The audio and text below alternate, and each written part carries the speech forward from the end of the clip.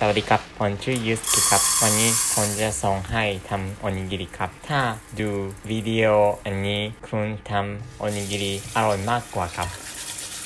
ล้างข้าวญี่ปุ่นดีๆกับเร็วๆนะครับ ถ้าไม่เร็วดูดซับน้ำไม่สวยนะครับ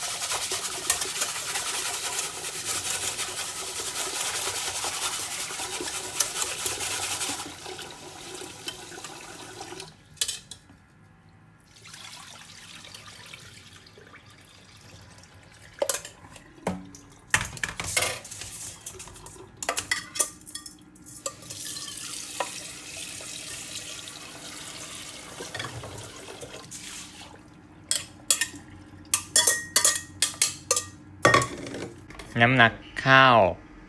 หนึ่งกับน้ำหนักน้ำหนึ่งจุดสามกรัมครับตอนนี้ข้าวสามร้อยกรัม ก็เลย น้ำสามร้อยเก้าสิบกรัมครับ ทั้งหมดหกร้อยเก้าสิบกรัมครับ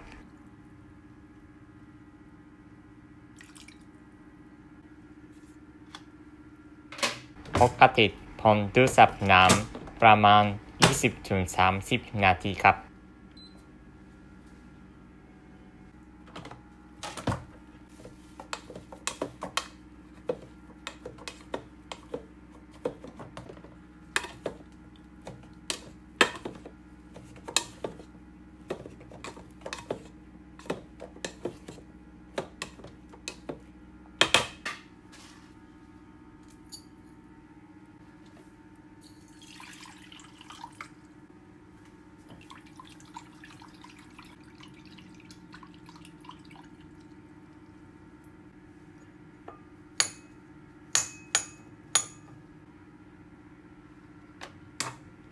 ล้างมือดีๆก่อน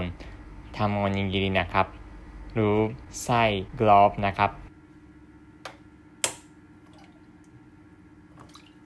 ตอนนี้ผมไม่ใส่กลอบเพราะว่าผมจะกินเองครับ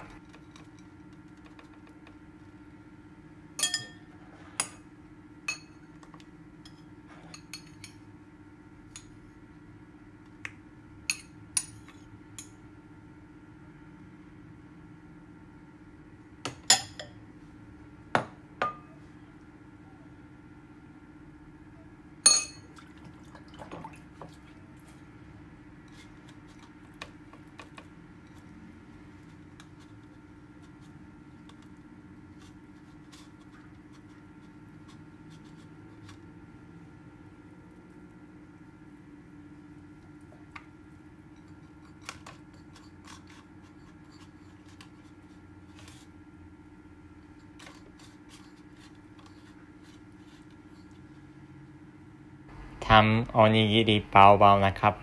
คิดข้างนอกแข็งแต่ข้างในอ่อนนุ่มครับ